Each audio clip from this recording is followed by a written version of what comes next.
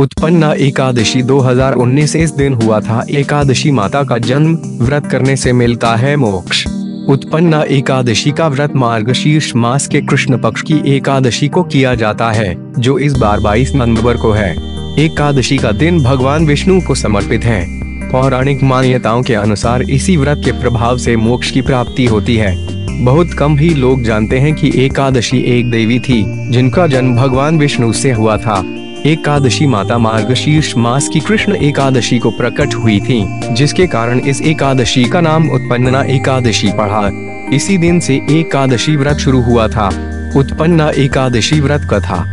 ऐसा माना जाता है कि स्वयं श्री कृष्ण ने युधिष्ठिर को एकादशी माता के जन्म की कथा सुनाई थी। यह कथा कुछ इस प्रकार थी सत्ययुग के समय मुर नाम का राक्षस था। उसने अपनी शक्ति से स्वर्ग लोक को जीत लिया था। ऐसे में इंद्रदेव ने विष्णु जी से मदद मांगी।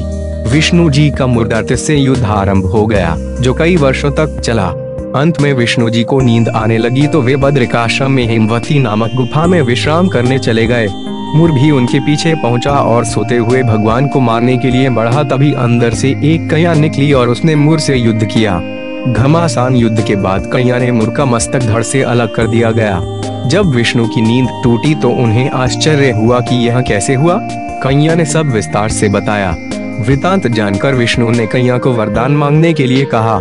कैया ने मांगा कि अगर कोई मनुष्य मेरा उपवास करे तो उसके सारे पाप नाश हो जाएँ और उसे विष्णु लोक मिले।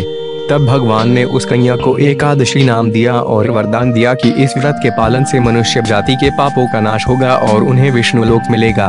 पद्म पुराण के अनुसार उत्पन्ना एकादशी व्रत में भगवान विष्णु समेत देवी एकादशी की पूजा का भी विधान है। इसके अनुसार मार्गशीर्ष कृष्ण पक्ष की दशमी को भोजन के बाद अच्छी तरह से दातून करना चाहिए ताकि अन्न का अंश मुँह में न रहे।